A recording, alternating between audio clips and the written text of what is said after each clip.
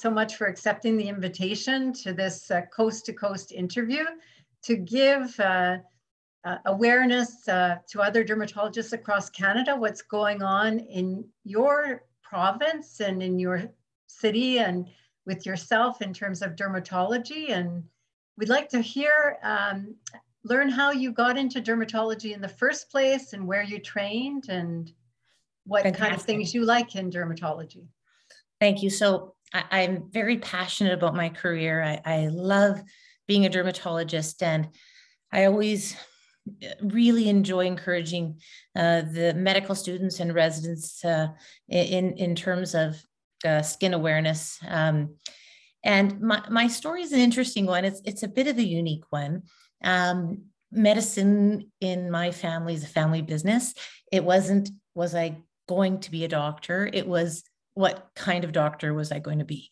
And I always knew that's what I was going to be. And I was very science oriented. And um, I won't say I was the first dermatologist in my family, and not many people know that.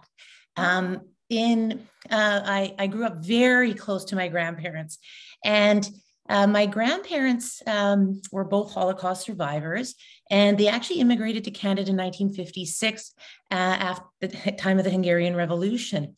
And my grandparents actually came with my grandmother's uncle, and they used to call him Uncle Doki.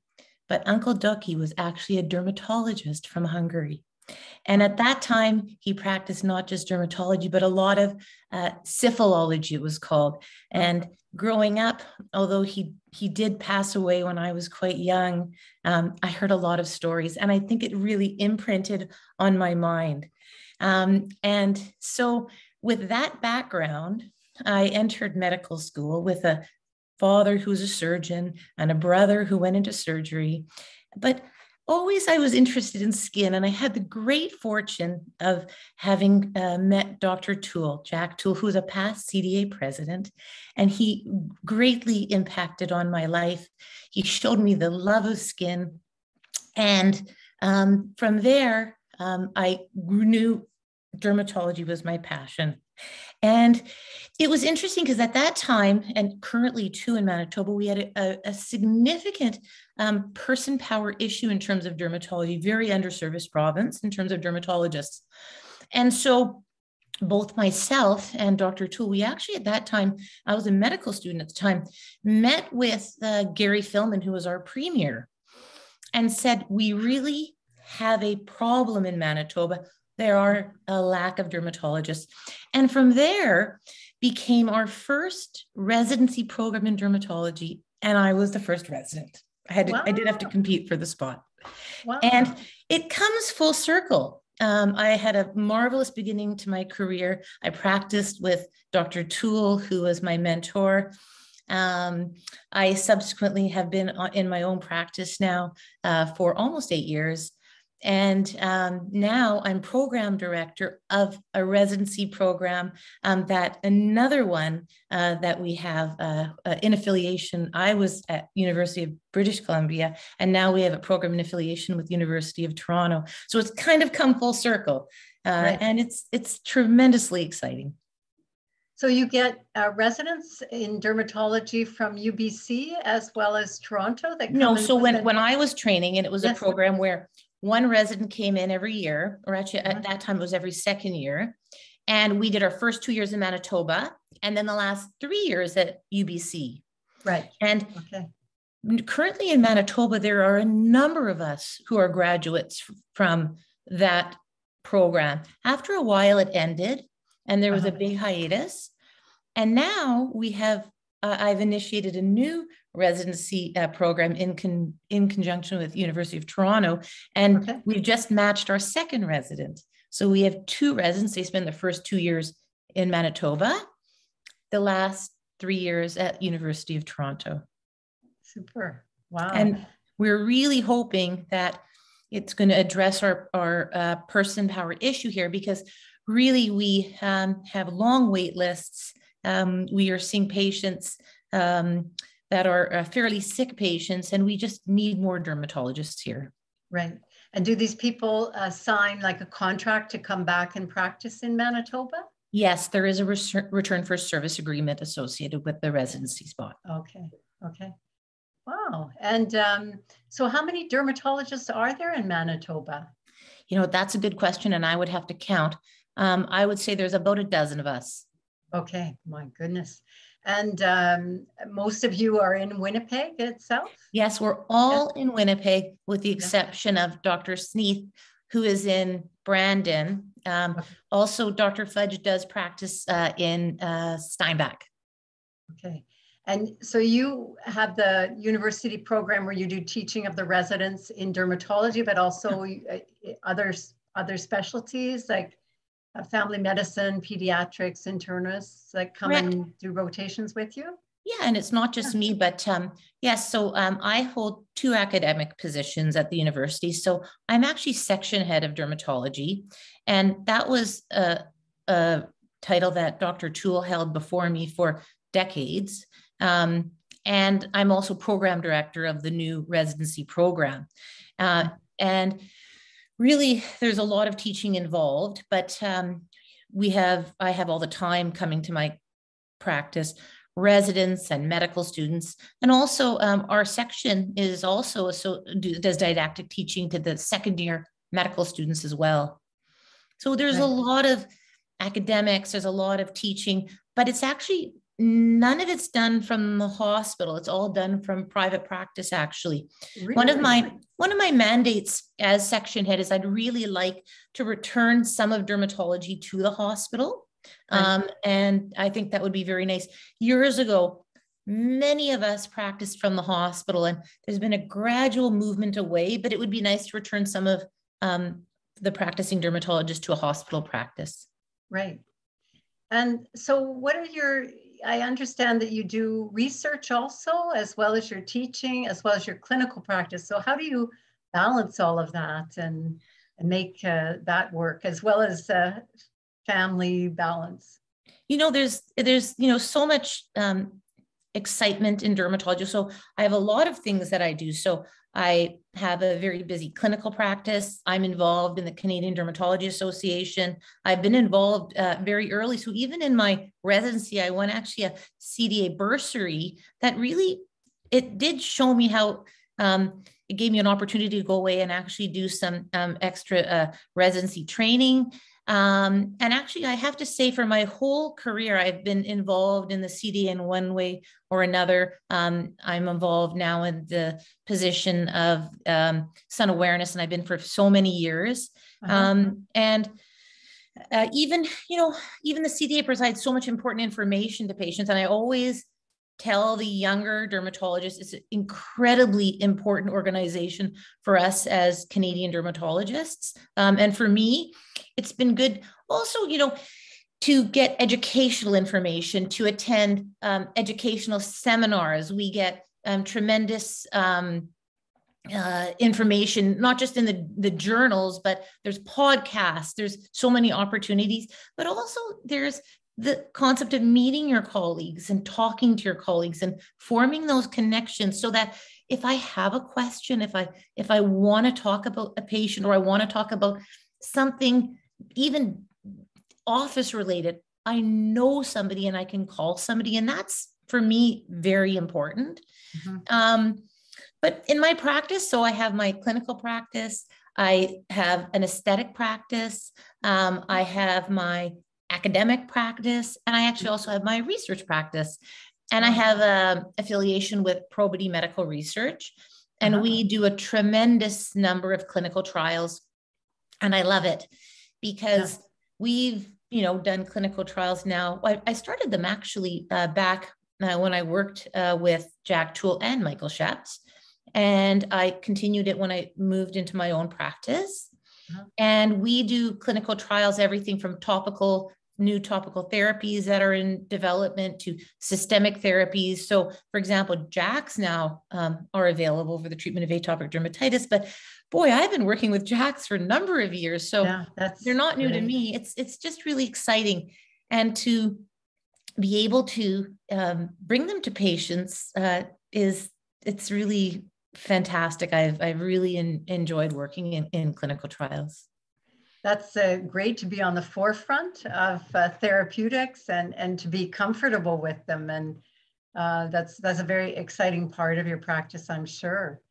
And um, for, for you in Manitoba, I guess the, how, how is dermatology delivered to most patients? Uh, do they get referred through their GP and um, how, how do you manage with the, so the waiting lists you have? Yeah. So dermatology is exclusively referral uh, in Manitoba um, for the first visit. And then, of course, we'll longitudinally follow our patients as long as appropriate. Um, unfortunately, there are long waiting lists for everybody, um, mm-hmm. long waiting lists. And uh, we try to uh, deal with them as as best as possible by triaging the patients that have the most serious problems by sometimes doing like I have like a, for example, a, a specialty clinic I do in, in, psoriasis. I have some acne clinics just to kind of weed off those patients to be more efficient, right. the delivery of care. You know, if somebody has a suspicious lesion for melanoma or like they don't wait. But right it's difficult when you're seeing a patient and the waiting list is 18 months and actually even right. up to two years. Um, so there's also an on-call service we have, and there's four of us who participate in that. Mm-hmm. And it's a great service. We actually um, rotate throughout the month. And so we provide on-call dermatology service to all of Manitoba, Western Ontario, Nunavut and parts of actually uh, eastern Saskatchewan. And uh, so that way, I like being on call, even though I'm on call tomorrow and I know you get many, many, many phone calls. Right. and so we actually do a stretch at a time. It's, it's quite busy, but right. it's a great way to keep acute dermatology really, um, you know, uh, you keep my kind of skills in acute dermatology really uh, sharp. Uh, right. So that's when I would see, you know, I just saw a few weeks ago a really serious case of TEN. And, you know, when you see your, your DRESS and when you see your acute immunobullous. And so um, I really enjoy being on call uh, because that's where the, that with those big wait lists, that's right. where those acute dermatology patients are seen. And then we also do in-hospital phone uh, uh, calls. So we'll go into hospital to see patients like on the bone marrow transplant ward or um, surgical problems and that kind of stuff as well. And also, I have to say, I think it's important to have a physical presence too, so people can see us. Um, the dermatologists were attending um, to our patients in hospital, um, and I think that visual uh, presence of the dermatologist in, is also very important as well. Sure, that we can be a part of the team of looking Absolutely. after complex care patients and. Uh, we have more regular, we're, we're very lucky in Quebec, they've allowed us to stay at the University of Montreal in the, the hospital setting. And it's, it's so helpful to patients that have complex care because they're going from one specialist to the next in the same building. So, and are you using telemedicine also? So the, I think one of the maybe only positive things about the pandemic has yeah. been uh, the delivery of, of virtual care. Um, there is uh, a telemedicine service in Manitoba live, but it's not very effective. Um, so many of us will do a store and forward um, telemedicine with photos, um, but that to the extent it, it's allowed us to actually, for example, m- much more so, of course, for um, inflammatory disease than for yes. neoplastic to provide care. We, we see people all the way up to Nunavut. So um, right. to, to deliver some care, but um, I, I do believe it needs to be better. It needs right. to be better. Yeah. We all need to check how we're doing and, and uh, use each other's lessons well and so that we provide the best care of dermatology in Canada that we can for sure. And um, if you were counseling a, a, younger person in dermatology, what would you suggest or some important advice to give to people? I, have always loved my career. Um, I truly think that dermatology is the best specialty in the world, and I I I can't say that when I have another specialty resident come in, but I can say that to the dermatologists. Um, I, I think it's so unique to have a specialty where you can um, have very complex patients and then not the right. very aged and the neonate yes. um, where we have a specialty we have the technical and then you don't have to have technical skills it's so broad you can yes. have visits that are prolonged and then also visits that are very short so it you will never be bored in what we do. It's a mm-hmm. very um, dynamic specialty that can be molded to the individual and the individual's personality. Right.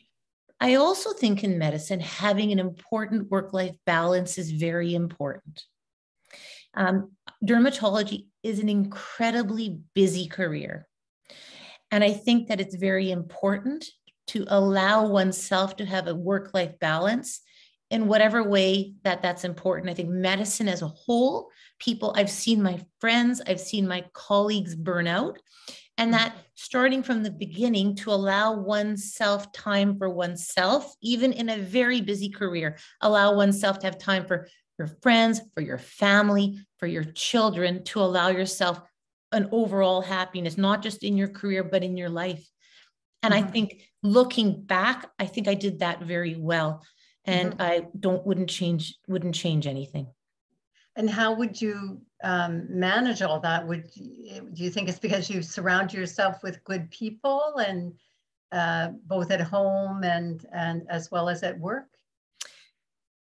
I think a lot of it has to do with delegation at the office. Mm-hmm. So I'm a good delegator at the office. I do what I do well and that is I could see my patients, but I have a great office manager who does the staff. Um, I uh, have a I have a great support system at the home, a marvelous spouse. I have great children, um, and help at home to help me do the things I need to do at home. Right. So it allows me time to participate in the activities. Um, right that I want to do. So uh, I don't, I won't say I never miss anything I don't want to miss, but it's really the exception rather than the rule. Yes. Okay. Well, that's that's good advice for people going forward. And at any point in our career, I think we sometimes need to reevaluate where we're at and make sure that we're keeping a proper balance because we could work all the time and uh, even weekends and evenings yeah. and yeah and and actually um, when i first started practicing you know i had paper charts and it was way easier to leave the paper chart at the office. But now with emr we can log in anywhere. Yes. and it's so easy to log in and go okay okay i just want to do this. Oh i'm just going to empty my inbox. And it's we have to say no i'm just going to not do that. I'll do that at the office or i'll designate x time to do that. And um, it's it's a it's a definite thing one has to set your mind to do. And and i found over time i have become even better at doing that and allowing uh, time for what i want to do so it's it's it's, an you. important thing to grow and learn right right it, it is tough so um, what sort of challenges do you see going forward uh, in dermatology and how can we make uh, our specialty viable and, and meaningful within our communities and within Canada? I think that um, having a group like the CDA is very important because together a collective voice is very important. And uh, we're a strong and clever group of individuals who together um, uh, with as a CDA and as a group, um, it it's it's an important voice of the dermatologists of Canada. Uh-huh. Um, I think there's a lot of changes happening in healthcare in Canada, and and they worry me a little bit. Um, uh-huh. I think as a dermatologist group, a lot of things are being um, taken away from us in some ways. You know, um, I talked about my my grandmother's uncle and how he was a dermatologist and syphilologist. Well, there aren't too many syphilologists anymore. And you know, the truth is, much of genital disease is skin. Well, I say, why aren't we syphilologists anymore? And then yeah. I, what more is being taken away from us? Well, we have Mohs surgery. I don't want that taken away from us. You know, yeah. we have um, allergic skin disease. Is that going to be taken away by allergists? We have atopic dermatitis.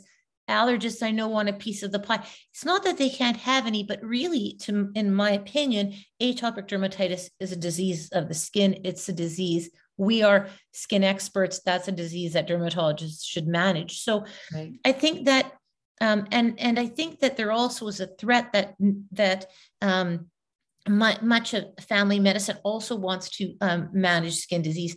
So I think that we have to continue to express and um, firmly stand that we are the skin experts and this is the domain in which we have our expertise and we're not going away.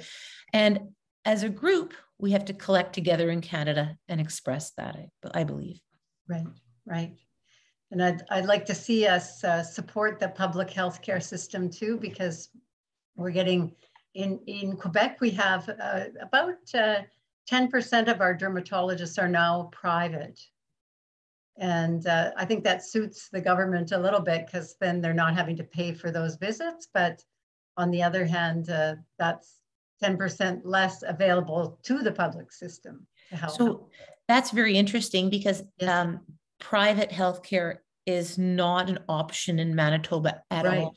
I don't think uh, in other provinces either. Yeah. Mm-hmm.